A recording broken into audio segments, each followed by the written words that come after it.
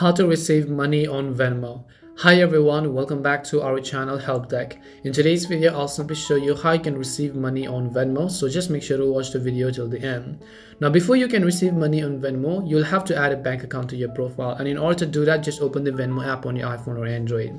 Then tap the three lines in the top left corner of the screen, then select the option called Payment Methods. As you do that, select Add a bank or card and then just tap on the option called Bank. Add your bank details and while it isn't required that you verify your bank account right after adding it to your account, it is is actually highly recommended.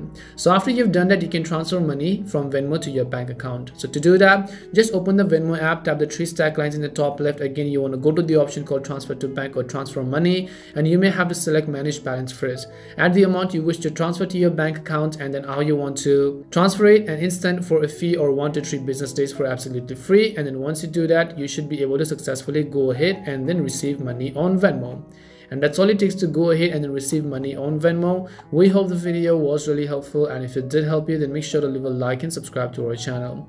If you have got any more questions feel free to leave them down. Thank you very much for watching and see you soon in our next video.